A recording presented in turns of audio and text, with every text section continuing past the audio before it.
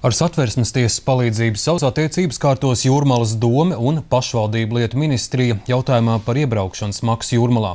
Ministrija norāda, ka Jūrmalai nav tiesiska pamata mainīt auto nodevu par iebraukšanu pilsētā, kamēr pašvaldības teritorijas plānojumā nav noteikta īpaša režīma teritorija.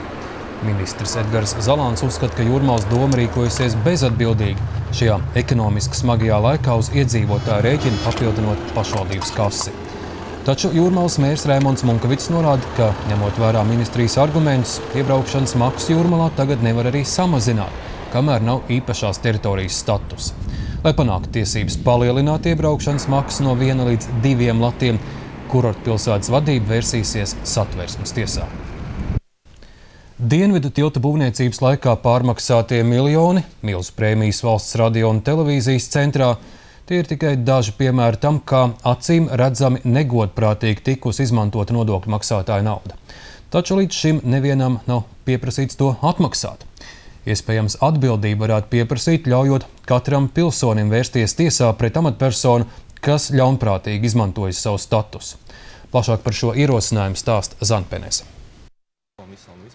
Zvērināts advokāts Armāns Masulis ir palīdzējis tiesības sargiem savākt materiālus par dārgajiem Apple datoriem un iPhone telefoniem, kas pirkti bijušajam ministram Oskaram Kastēnam. Tagad viņš rosina atvieglot iespēju visiem pilsoņiem pieprasīt atbildību un piedzīt zaudējumus no amatpersonām, kas nekaunīgi izmantojušas valsts naudu un mantu. Savējo piesakšanas problēma, kas, nu, diemžēl, arī ir identificējama Latvijā. Gan pašvaldību darbā, gan iestāžu darbā.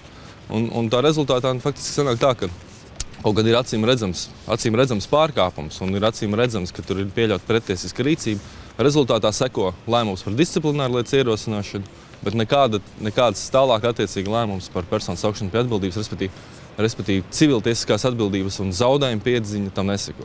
Kā vienu no piemēriem Masulis min valsts kontroli, kas katru mēnesi nāk klajā ar atklājumiem par nodokļu naudas izšķērdēšanu, bet nav precedenta, kad kāds par to samaksātu.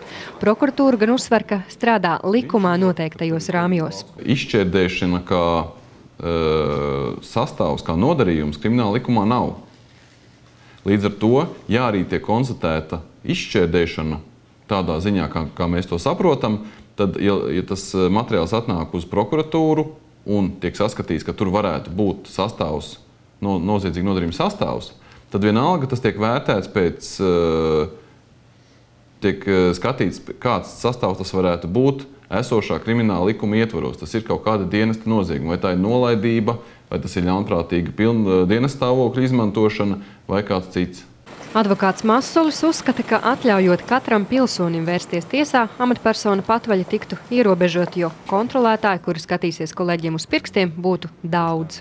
Varētu būt sabiedrības pārstāvi, um, jebkurš Latvijas Republikas pilsonis, uh, biedrības organizācijas, kas speciāli nodibinātas šim mērķim.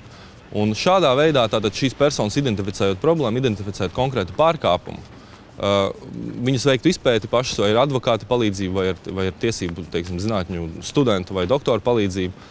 Um, šīs izpētes rezultātā sagatavojot pieteikumu, un pašas būtu tiesīgas iet un vērsties tiesā. Tātad šobrīd to var izdarīt tikai, tikai attiecīgi tam pilnvarotas iestādes, kas, kas diemžēl to nu, praksē ļoti bieži redzams, ka to nedara.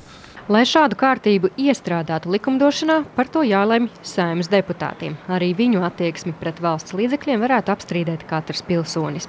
Zane Peneze, Juris Rītiņš, Latvijas televīzija.